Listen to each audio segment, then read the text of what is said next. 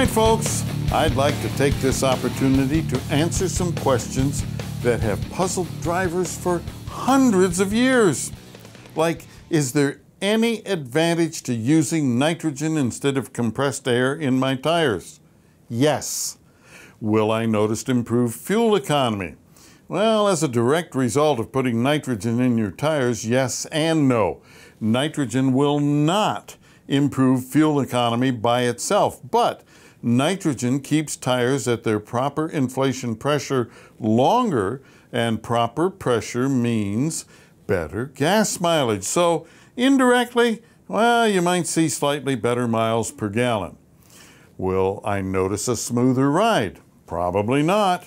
Will my tires last longer? Yes, but only because nitrogen will maintain proper pressure longer, and proper pressure means longer tire life. Will I save money by using nitrogen in my tires? In most cases, yes. But how can there possibly be a savings if you don't get significantly better miles per gallon, longer tire life, and so on? Easy. No water or oil. Most drivers don't know that all air compressors heat the air as it's being compressed, which leads to condensation in cool air lines and equipment.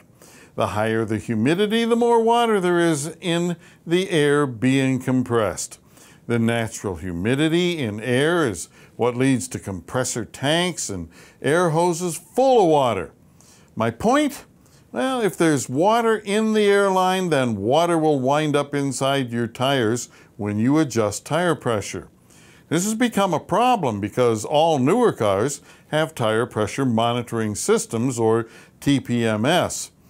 Most tire pressure monitoring systems use electronic sensors mounted to the wheel inside the tire to measure pressure. And then they send a radio signal to a central computer which controls a warning light. Naturally, because the sensors are electronic, they don't like water. Think of dropping your phone in the toilet. Yet millions of drivers and technicians routinely pump water into tires. Water from poorly maintained air compressors, which once inside your tires slowly destroys the TPMS sensors, leading to a big repair bill. But by adding completely dry nitrogen to your tires, you eliminate all the water and prolong the life of your tire pressure monitoring sensors. That could mean a savings of several hundred dollars over time. The same scenario goes for the oil that lubricates the compressor's internal parts. If the compressor isn't properly maintained, oil will work its way into the airlines and right into your tires, where it will, over time, also kill your pressure monitoring sensors.